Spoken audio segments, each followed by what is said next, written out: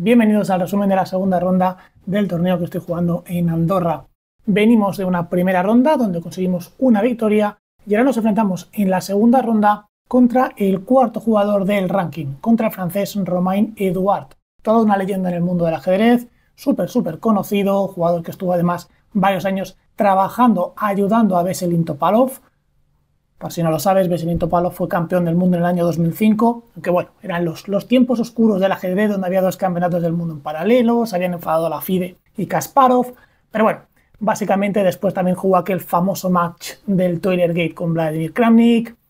En cualquier caso, un jugador eh, súper conocido, Romain Eduard, y vamos a ver qué tal fue la partida, porque fue súper interesante. En este caso, a diferencia de la primera ronda, sí tuve algo de tiempo para preparar la partida, y vi que contra caballo F3 solía jugar la jugada C5, que de hecho es lo que me jugó en la partida. Y fíjate que esta jugada como que invita al blanco a jugar E4, ¿no? Dices, ahora juego E4 y estamos en una siciliana. Fíjate, una siciliana sin jugar E4. ¿Vale? Para que veas lo que es el ajedrez y los órdenes de jugadas y la importancia no de las jugadas en concreto, sino de los planes que hay detrás de ellas.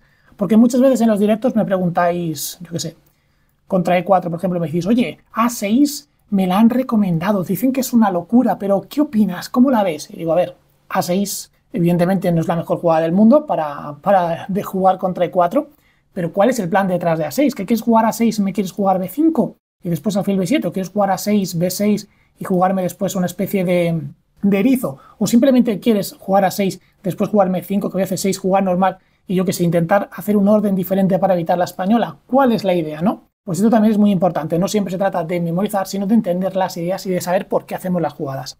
En este caso, mi oponente juega C5 le respondo con B3, que era mi plan, ¿vale? Jugar este ataque Ninzo Larsen y veo que decide continuar con D6. Una jugada que me sorprendió un poquito porque yo había estado mirando las partidas que él jugaba y había visto que normalmente solía responder con D5. Con idea de alfil B2 continuar con F6. Una jugada súper, súper rara, pero que busca tomar el centro y es que el blanco ya no lo puede evitar. Normalmente suele jugar D4, peón por, caballo por, E5, caballo F3 y caballo C6. Se llega a esta posición, Fíjate donde más o menos hay igualdad, prácticamente igualdad, pero es cierto que el negro pues, ha solucionado sus problemas, tiene el centro, es una posición súper, súper interesante. Pero en cualquier caso quédate con esta posición porque va a ser importante para la partida.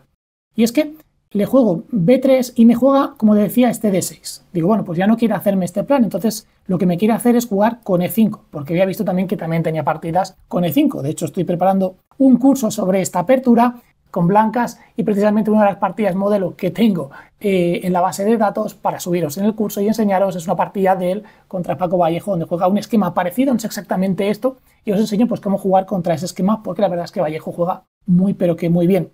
Entonces veo o entiendo, pero supongo que su idea es jugar con E5 y es por eso que respondo directamente con D4. Evito que juegue 5, ¿no? Podría simplemente hacer alfil B2, pero entonces estoy seguro que me hubiera jugado de 5 bueno, y entramos en otro tipo de posición. Fíjate que es como una especie de apertura inglesa, pero con los colores cambiados. Es decir, en vez de ser el blanco el cacho C4, ese negro el cacho C5 y luego ha hecho el típico triangulito de Botvinnik donde uno juega pues, con F6, K6, Afro G7, se enroca en corto y tienes el control del centro. ¿no? Aquí el blanco, por supuesto, puede jugar C4, puede jugar E4, hay miles de partidas, pero no quería jugar así y quería simplemente evitar este plan. Por eso que juego D4. Bueno, vas a ver que la batalla en la apertura es muy interesante. Me contesta con peón por, jugada lógica, porque si no voy a ser yo el que capture en C5. Y tras caballo por, aquí tiene muchísimas opciones. Puede jugar con F6, por supuesto, puede jugar E5, pero me jugó la jugada D5. Una jugada súper, súper interesante y cuya idea es llegar a lo que te había enseñado al principio, pero de otra manera. Es decir, como yo le he evitado que él me pueda jugar este plan, me lo va a hacer de otra manera y me lo juega con D5. Y fíjate, porque esto va a implicar llegar a la misma posición que te he enseñado, pero con una concesión por parte del negro, que va a tener un tiempo de menos. Y es que, y ahora continúo, con E3, ¿podría jugar a fil B2? Sí, pero como te digo, si entiendo que su plan es jugar E5 y a caballo F3, F6, digo, oye, no le voy a dar esto y voy a jugar primero E3, porque si me juega E5 y caballo F3 me juega F6, ahora y aunque no es la mejor opción, pero bueno, le puedo jugar caballo por E5, porque al haber jugado E3, cuando recapture tengo dama H5, te doy jaque, por supuesto, si me juegas G6, jaque y te capturo la torre, esto no se puede jugar, pero tienes que irte con el rey, rey de 7, pierdes el enroque, capturo en E5, es una posición un poco loca. De hecho, si te fijas, el módulo dice que realmente no existe suficiente compensación para blanco, hay muchísima compensación, fíjate que da menos 0,99 pero tenemos pieza de menos. Esto significa que valora los dos peones como muchísima compensación a cambio de la pieza y por supuesto este rey tan débil, que puedes, yo que sé, si te juegan KF6 o la jugada que quieran hacer, pues puedes jugar G3 para traer el alfil, bueno, hay muchísimas opciones, pero no es lo ideal, ¿no? En cualquier caso, digo, bueno, si quiero hacer esto, una opción que me guardo, porque alfil B2 la voy a hacer igualmente y E3 también, así que decido jugar directamente E3. Me juega E5 y a caballo F3 juega caballo C6. No juega F6 directamente y ahora sí, alfil B2 sí me juega F6. Porque ahora no existe este sacrificio, porque recaptura y a dama H5 simplemente G6 y no puedo capturar, ¿vale? Bueno, te lo enseño. Simplemente ese caballo por, juegas peón por y ahora dama H5, G6 no puedo capturar aquí porque está defendido. Y si intercalas la jugada alfil por E5 diciendo, bueno, caballo por, dama H5 te doy el jaque y luego captura aquí, tampoco funciona porque te juegan caballo G6 o caballo F7, cualquiera de las dos. Y bueno, aquí ya directamente que abandonar porque ya son dos piezas. Por tanto, llegamos a esta idea y fíjate que es la misma posición que te había enseñado antes, pero donde el blanco le toca jugar, es decir, el blanco ha ganado un tiempo. Hubiéramos llegado a la misma posición, pero ahora yo habría tenido que jugar E3. Sin embargo, tengo un tiempo de más. Decido continuar con alfil E2. Y aquí he empezado a tomar una serie de malas decisiones eh, básicamente basadas en no querer romper aún su centro. Yo aquí quería esperarme a que él se definiera, que él decidiera su plan, si él quería jugarme, yo que sé, con caballo h6, alfil d6, caballo f7, enrocarse en corto, o si quería jugar con alfil e6, dama c7, alfil d6 y enrocarse en largo, y que se definiera. Y empecé a hacer una serie de jugadas que lo que único que consigo es darle la iniciativa a mi oponente. Y creo que fue eh, mi gran error, bueno, mi gran error en esta fase de la partida, por supuesto. Y es que, fíjate cómo continúa me juega alfil e6, ya luchando contra c4, porque mis rupturas son c4 y e4 en, no tanta no tan crítico, pero la idea principal es jugar C4 para romper este centro. Y es lo que te digo, quizá aquí ya debería de haber hecho C4. Alfil E2 es una jugada correcta, no es ningún error. Fíjate que el módulo no la va a dar como mala y no es mala, pero ya indica eh, mi planteamiento sobre la partida. Indica que quizá no estoy eh, con las ideas claras con lo que tengo que hacer. Fíjate, Juego alfil e2, como veis el módulo pues no dice nada, simplemente una jugada como cualquier otra. Alfil e6 y ahora, segundo momento. Puedo volver a hacer c4, puedo simplemente enrocarme, pero decido hacer la jugada caballo bd2. Fíjate, sigo esperando a que mi rival se defina. ¿Qué vas a jugar? ¿Alfil c5? ¿Vas a jugarme dama c7? ¿Qué, ¿Qué me quieres hacer? ¿Cuál es tu plan? Una vez me lo juegues, me defino y veo qué quieres hacer.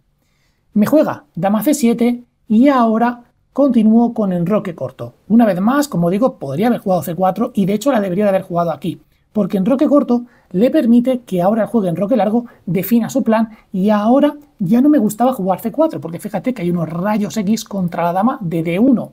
Sin embargo, C4 no es una mala jugada.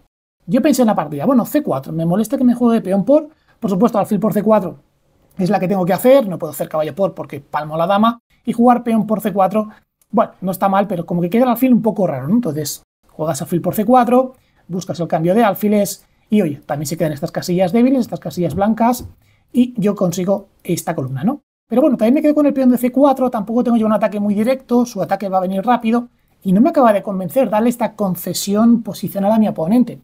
Cuando juego con un rival tan duro, pues siempre pienso, ostras, voy a intentar hacer el mínimo de concesiones porque sé que una pequeña debilidad quizá ahora no es nada, pero igual dentro de 40 jugadas en el final el tío ya tiene un punto sobre el que apretarme y puede acabar ganándome, ¿no? Entonces, no jugué así y la verdad que debería haberlo hecho, porque por intentar hacerme el fino, por intentar decir, oye, voy a hacer esa idea pero con mejores condiciones, hice una jugada que la verdad fue un error. Y es que jugué dama C1.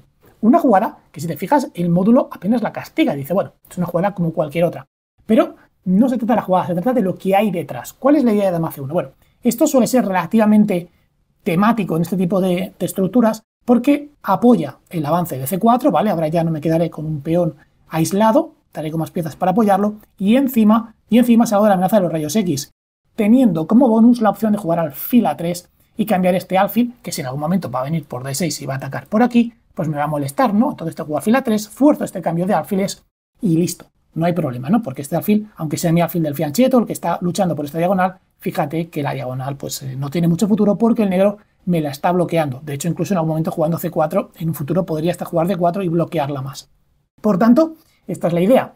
Pero como digo, habría que haber jugado simplemente C4 y jugar esa posición que te he enseñado. Las negras continúan con la jugada G5, jugada lógica, no hay más, es la que esperaba, porque al fin y al cabo tienes que avanzar tu ataque Estas piezas hay que desarrollarlas, pero tampoco hay prisa porque fíjate, la torre en H8 realmente ya está desarrollada porque aquí está haciendo su función. Si esta torre estuviera en E8, la traerías de vuelta a la columna G o al H, probablemente al H para traer la otra a la G, y a atacar. Por tanto, solo son estas dos piezas y tienes que venir al ataque. Y aquí es donde ya tengo que romper sí o sí, porque su ataque viene, ¿vale? Por tanto, tengo que ser yo el que se lance con C4 o con E4, que ahora es otra opción que tengo, que es la que valoré, pero que omití un detalle importantísimo y que realmente omitirlo me marcó para el resto de la partida de una forma bestial. Y es que fue un golpe a mi moral tremendo, porque hasta aquí más o menos sentía que tenía todo controlado, sentía que, oye, dentro de lo que es la apertura, las ideas que él traía preparadas, creo que más o menos las he conseguido mantener, he podido hacer mi juego, he podido evitar que al menos si él consigue lo que él buscaba, pues haya perdido un tiempo y creo que ya tengo el avance de C4 o E4 listos para romper. La clave era simplemente jugar C4, porque es que, ¿qué hace el negro? No? La verdad es que la partida me molestaba que me jugase G4, caballo 1 y quizá D4, ¿no? Llegar a esta posición, peón por, peón por o caballo por, cualquiera de las dos, y digo, bueno, no sé, se queda aquí con un peón pasado, es cierto que yo voy a bloquear muy bien, pero ahora también se le ha abierto la diagonal, fíjate, y esto me empezaba a preocupar, porque digo, si le permito esta ruptura, perdón, si le permito este avance, ahora sus piezas van a coordinar súper bien, me va a traer todo, encima me ha expulsado el caballo e 1, quedan las piezas un poco raras, y da un poquito de miedo, ¿no? Aunque realmente tampoco pasa nada nunca, porque puedes hacer caballo de 3, si te juegan alfil de 6, pues puedes jugar G3, puedes jugar F4 y en un futuro vas a jugar torre de 1, caballo F1 y el caballo en F1 lo va a controlar todo y va a ser una defensa bestial. Pero no me acaba de convencer, digo, ¿por qué darle esta chance si puedo jugar E4? Y si me juegas de 4, ahora quizá, ¿vale? Te juegue yo C3 o te juegue C4 o simplemente te juegas C4, que era realmente la jugada que yo quería hacer, para cambiar este alfil y debilitar una vez más las casillas blancas. Una vez este alfil ya no esté, puedo recapturar con el caballo si es que captura y puedo tener un buen juego. El problema es que omití un detalle importantísimo y que la verdad ya no lo voy a volver a omitir en toda mi vida porque esto ya se me va a quedar grabado a fuego. Y es que cuando me juego a G4, que era la respuesta obvia, caballo 1 omití la idea de alfil H6 y de repente mi posición colapsa. Fíjate que el módulo da solo menos 0,99, es decir, ventaja clara, negra, no es una ventaja que te vaya a ganar la partida, pero es una ventaja que te pone en muy buena situación, era súper molesto, pero súper molesto. ¿Por qué? Porque es que ahora me está clavando el caballo y esta jugada viene, entra con la torre y no lo puedo... ¿Cómo lo defiendo? Si juego caballo de 3, simplemente captura. No puedo recapturar porque me cae la dama, ¿vale? Y simplemente cuando mueva el caballo, donde más rabia te dé, yo que sé, juegas caballo C5, te pueden jugar alfil por D2, ¿vale? Por ejemplo, esta posición, simplemente, aquí tienes caballo por E6, ¿vale? Puedes jugar así, así y así, también acabas perdiendo material con la torre, a ver si este caballo sale o no sale. Bueno, cualquier caso va a ser pieza de menos, ¿vale? Por tanto, ni, es que ni siquiera puedes jugar esto. ¿Qué más opciones tienes? ¿Qué juegas, no? Eh, dama de uno, bueno, puedes hacer dama de uno, pero que te juego peón por. Peón por y, y, ahora qué, ¿no? Pensé durante la partida fil por G4, pero es que tiene F5, ¿no? Si no la tuviera, si estuviera obligado a recapturar, bueno, pues te doy jaque y luego muevo el caballo y tan feliz, ¿no? Pero es que tiene F5 y palmo pieza igual, no, no puedo hacer nada. ¿Qué haces? Puedes hacer alfil C3, pero bueno, alfil C3 que tienen peón por igualmente, te pueden hacer D4. Es decir, aun y consiguiendo yo salvar la pieza, en el mejor de los casos, si juego así me voy a quedar tan, pero tan pasivo que mi rival va a jugar a placer. Es que le va a dar igual tener pieza de más o no, porque yo no me puedo mover, no puedo nunca bloquear con el caballo, porque entonces cuando recapture simplemente eh, voy, a, voy a perder, o sea, le voy a dar todo y encima le voy a dar tiempos de ataque, va a poder traer las piezas tranquilamente, me va a poder generar ataque y, juega a placer, ¿vale? Que por supuesto, peón por simplemente aquí ya te hunde, ¿no? Te juegan peón por, a la siguiente te juegan E3 eh, y es que el ataque es decisivo, ¿no? O sea, casi que prefiero, puestos a jugar esa posición, preferiría haber jugado con pieza de menos.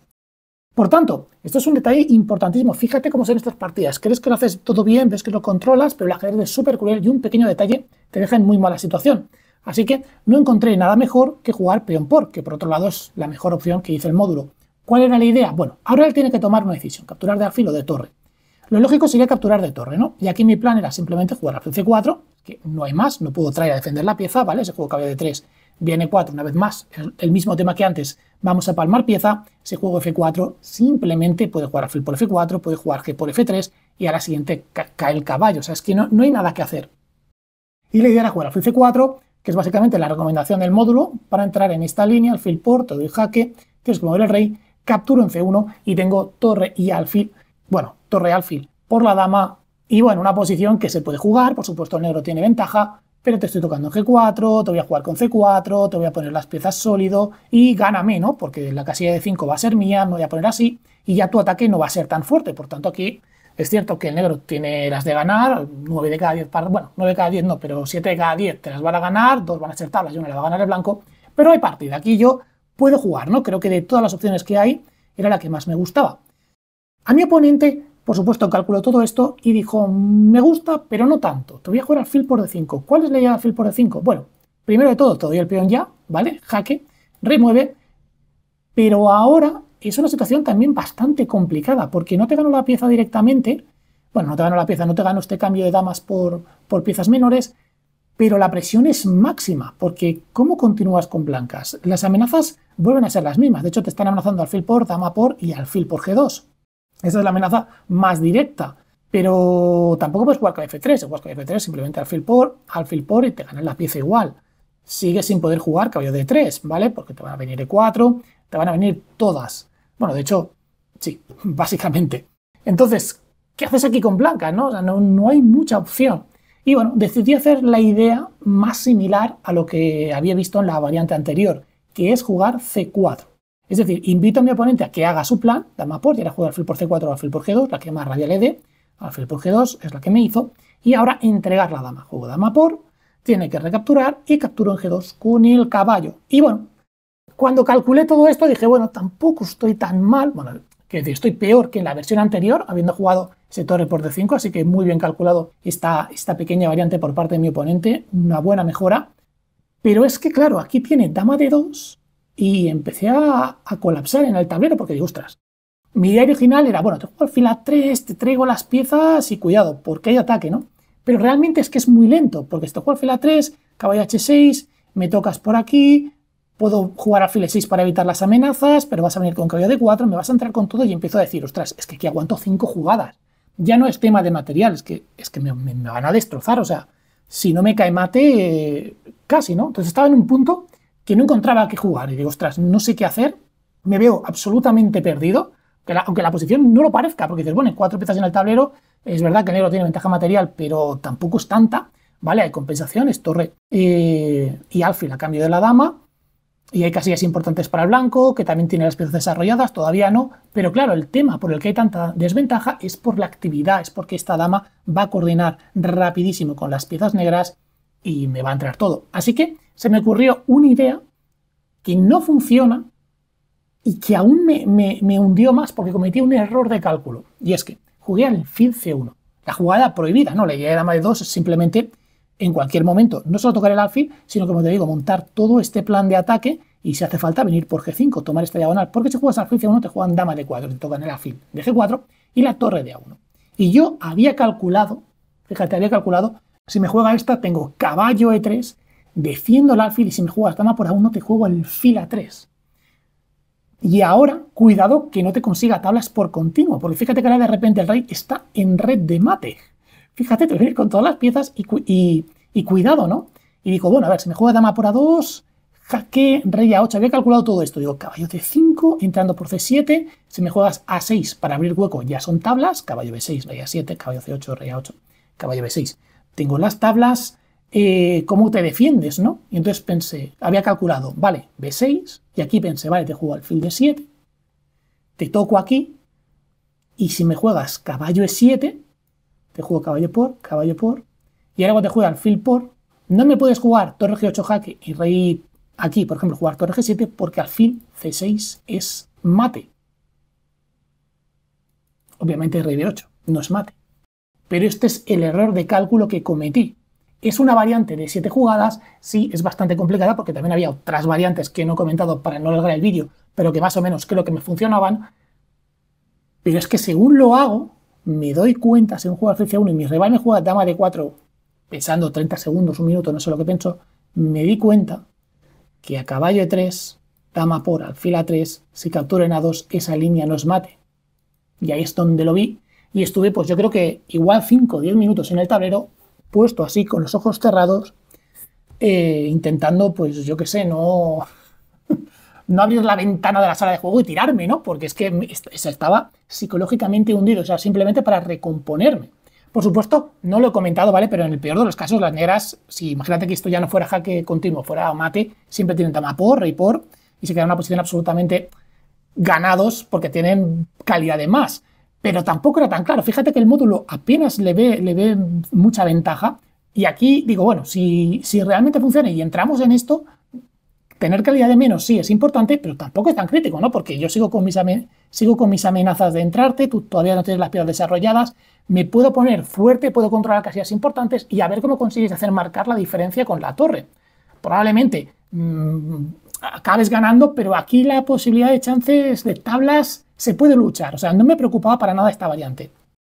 Pero claro, aquí yo estaba ya totalmente, totalmente hundido. De hecho, fue en este momento al hacer eh, dama de cuadro que, que, rompí, ¿no? Que ya psicológicamente me hundí porque lo que era mi salvación, lo que era mi idea, donde, me lo jugué todo, eh, no funcionaba. Y después de haber cometido ese error con dama C1 y después de haber roto con E4 en vez de con C4, psicológicamente estaba hundido, ¿vale? O sea, no sé si alguna vez te ha pasado una partida, si has jugado algún torneo, esa partida que, de repente todo lo que calculas te, sale mal y no porque hayas calculado mal, lo que has calculado estaba más o menos bien o era relativamente correcto, vale, en esta variante que te he enseñado, en una variante 7 jugadas que era larga, había muchas opciones y te he enseñado lo que era la variante principal, fallaba, vale, pero bueno, dentro de lo que cabe, mira, así el ajedrez, ¿no? No somos Magnus Carlsen, no somos Stockfish, pues nos vamos a equivocar. Ellos también se equivocan. Bueno, Stockfish no, pero Carlsen sí que es humano.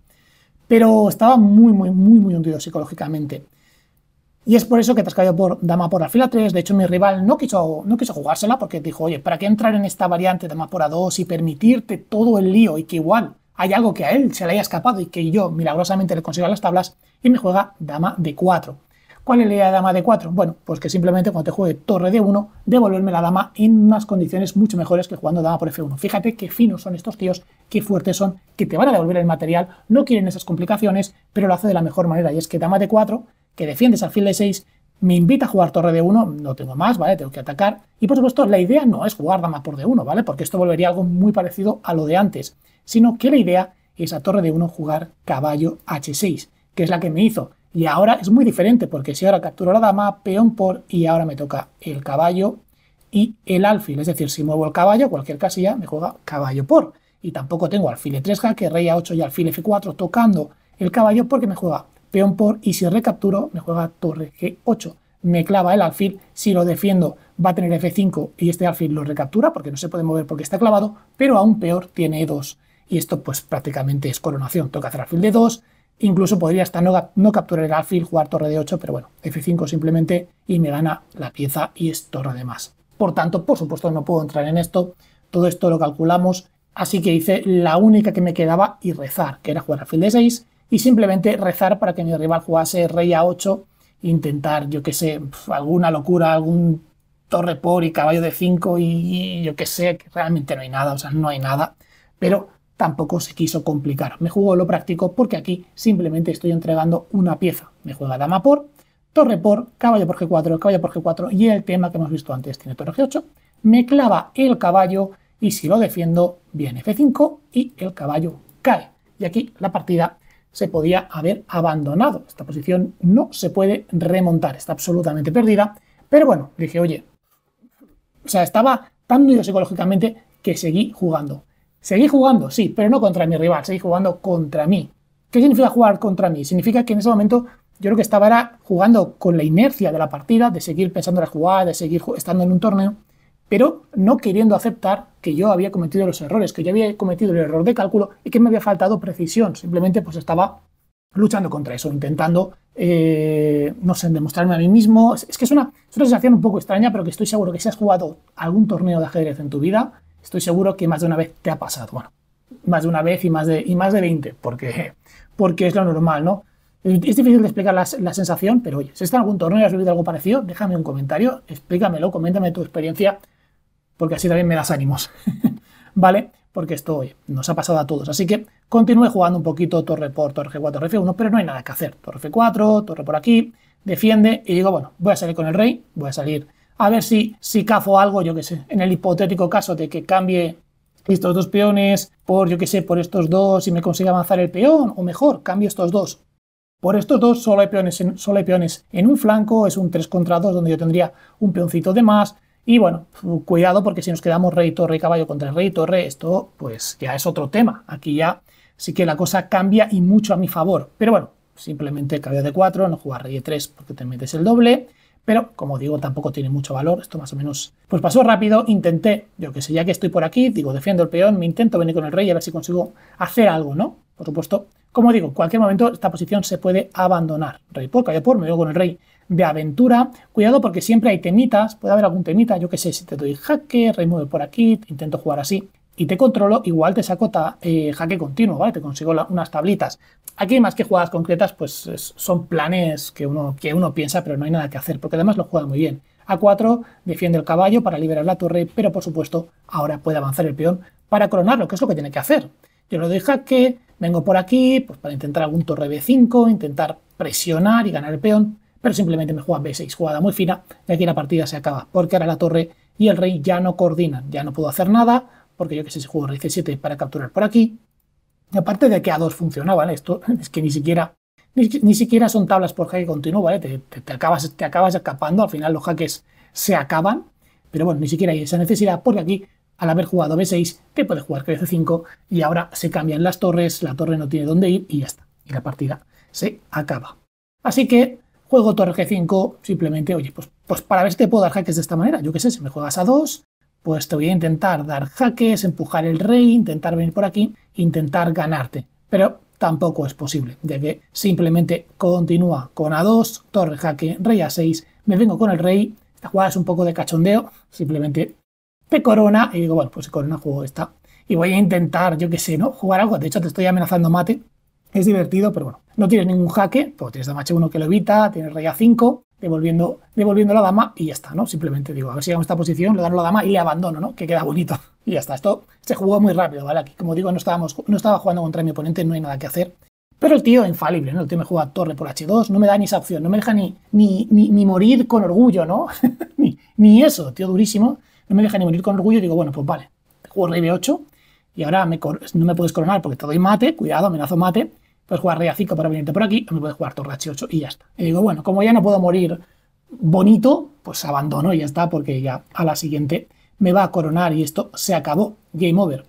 Así que esta ha sido esta partida, la verdad, una partida, como digo, que me ha dolido mucho, no por la derrota, porque partidas voy a perder, voy a perder más durante el torneo, estoy totalmente convencido, es lo normal, también voy a ganar muchas más, pero no es el hecho de perder, porque perder es normal, igual que los ganar, es el hecho de cómo he perdido, de cómo creía que tenía la situación controlada al principio de la partida, ¿vale? Si nos vamos a esa posición tras enroque largo, cómo me sentía bastante cómodo y cómo simplemente con esos detalles de dama C1 y de E4 la tiro a la basura y cómo antes no soy capaz de valorar correctamente la ruptura de C4. Es cierto que esta es una posición que yo no había jugado nunca, obviamente, porque estamos en una posición donde he evitado el plan del negro pero el negro ha insistido en conseguirlo cediéndome un tiempo, es decir, regalándome un tiempo para llegar a ese esquemita que quería jugar, un poquito peor de lo que quería él, pero bueno, pero no lo supe valorar bien, no supe aprovechar esa, esa ventaja que había conseguido y bueno, como digo, me, dolió, me dolió muchísimo. Luego ya se avanzó la partida con esa C1, con esas ideas